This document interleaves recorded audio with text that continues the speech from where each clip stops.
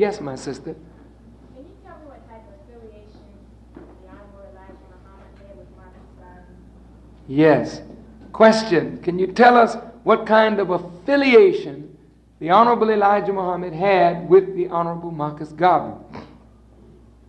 Now, I know that there are rumors about that and books written that Elijah Muhammad was a lieutenant in the um, UNIA. That is an outright falsehood.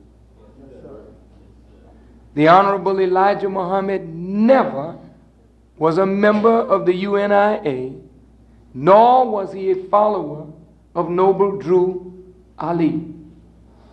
But the Honorable Elijah Muhammad loved Marcus Garvey, respected and honored Marcus Garvey, and bid his followers to respect and honor Noble Drew Ali and Marcus Garvey as the forerunners to what we are doing right now.